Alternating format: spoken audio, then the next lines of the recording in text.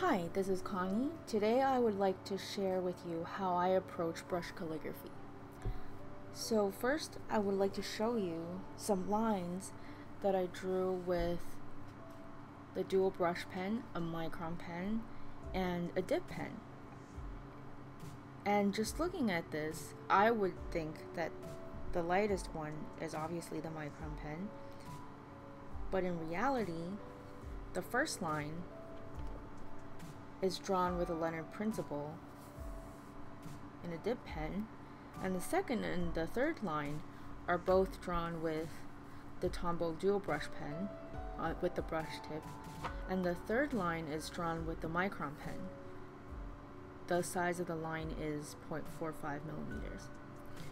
So the point I'm trying to make is that the Tombow brush pen can achieve hairlines as thin as a Leonardt Principal can, and even thinner than a micron pen. So when I do brush calligraphy, what I want to achieve is to really take advantage of how much it can flex and how thin it can go. So I approach writing with the Tombow a lot like how I hold my um, oblique holder. My thumb is very close to the flange and it's almost, you know, right, very, very close to the paper. And the dual brush pen I hold very, very close to the tip because when you lower your center of gravity, you're just much more steady and you can achieve better control and therefore better hairlines.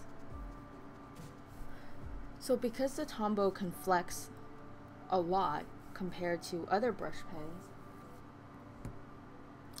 this is a zebra brush pen and while I love it very much, you can see it's very small so the difference between the thin and thick strokes are not as exaggerated as the Tombow. So you really want to take advantage of that flex and therefore I usually write a lot bigger when I write with a dual brush pen. So I'll go through the alphabet from A to Z and mention any points that comes to mind. I want all my letters to still be at around a 55 degree angle. And with the Rhodia paper, it's really easy to know where that angle is without any tools because if you just line the lines up diagonally, that is a 45. So 55 is approximately right there. So for the A, when you want to achieve that hairline, you want to think about the tip of your brush just barely gliding over the paper. You're not using any pressure. Just think of that your your the tip of that fine nib is just dancing on the paper on its own. You have nothing to do with it. It it's just going. You don't want to control it. You don't want to hold it so tight because when you hold it tight, the lines get unsteady. So to write the A, I start off with the hairline and that entrance stroke is always a compound curve.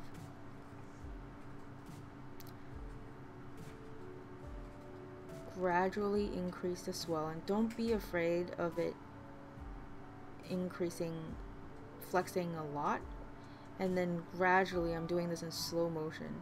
Lift your pen. So you can clearly see that transition from swell from thick to thin. And go up to finish the oval. And now you want another swell. Going down. And gradually lift it.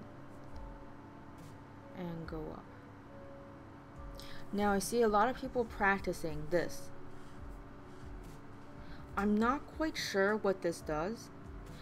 Um, what I would suggest practicing is if you want to achieve this look, what I would suggest practicing is going from thick and then gradually lifting your pen. That's not a very good one. There we go. gradually lifting your pen and turning. Because if I demonstrate with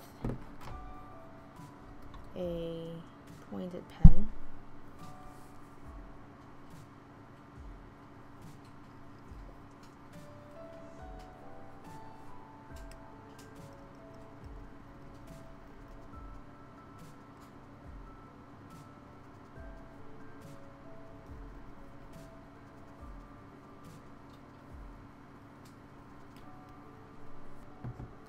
that is very similar to what I want in my brush calligraphy. So you can see here, there's a clear transition between the thick and thin, clear transition between the thick and thin here. Now I know some people do not want their brush calligraphy look to be like so. They would prefer something um, a more modern style look. Like I see, you know,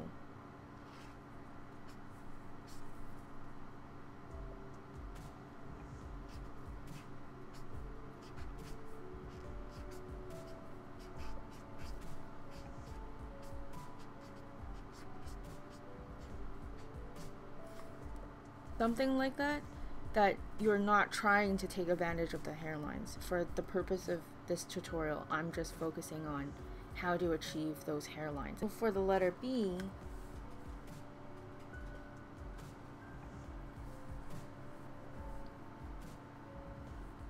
breakaway point, push the hairline down, and gradually transition to a thin stroke.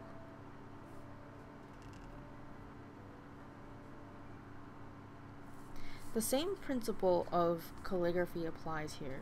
You want ovals in your B. You do not want your B's to look like this. C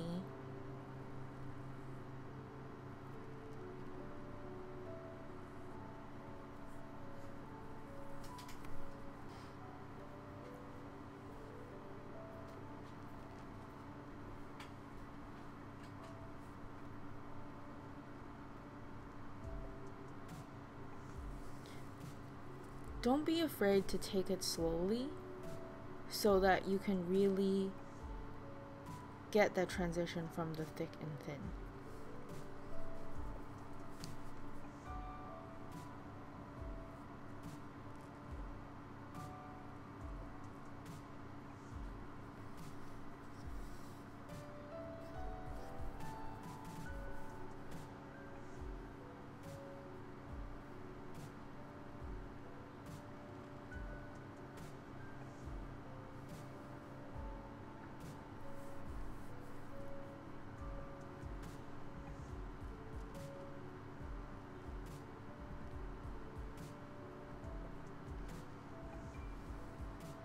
See, I don't like what I did there.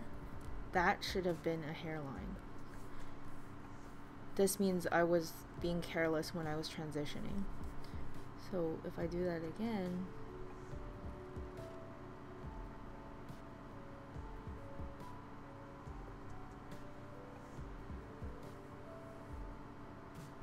Also, it helps with the Tombow if you write really big it helps you make the transition easier because you have more of a space to make the turn.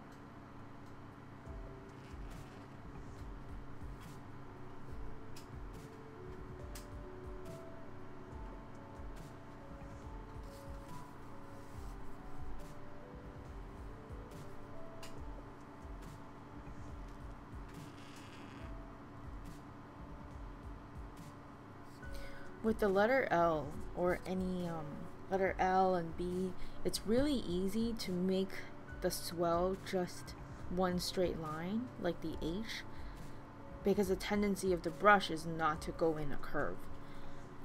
So you have to really make make a note, mental note, to make that turn.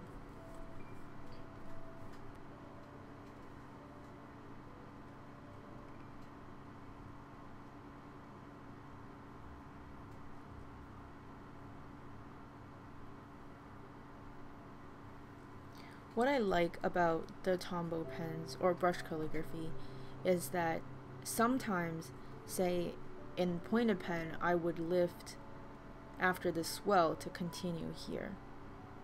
But because it's a brush, it has that fluidity so that you can continue.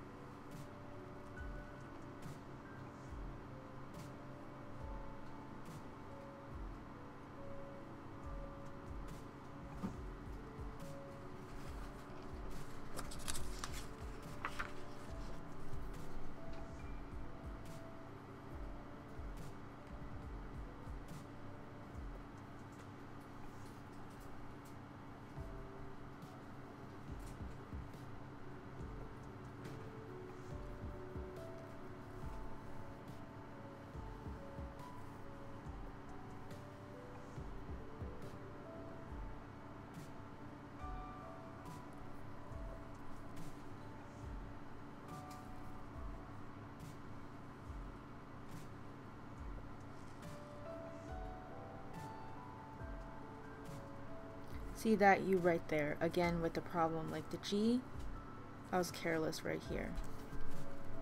There must be a distinction between the swell and the hairline.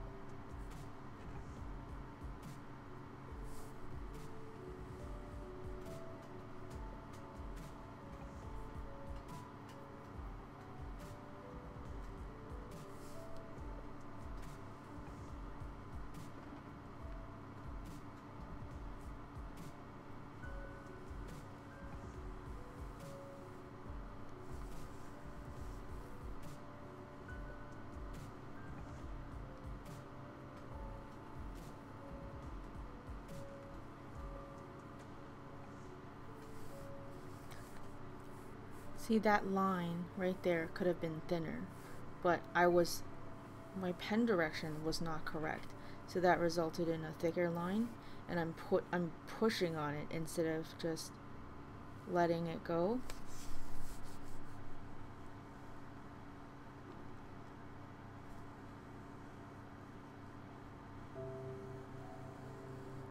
Your arm has to move the pen for your hand not to press on the paper. So if I write bigger, you'll see more clearly. The shape of my hand does not change. The arm moves up. That's all for this video. If there are any questions or if you would like to see me do more on brush calligraphy, please comment below and let me know and I'll be happy to help.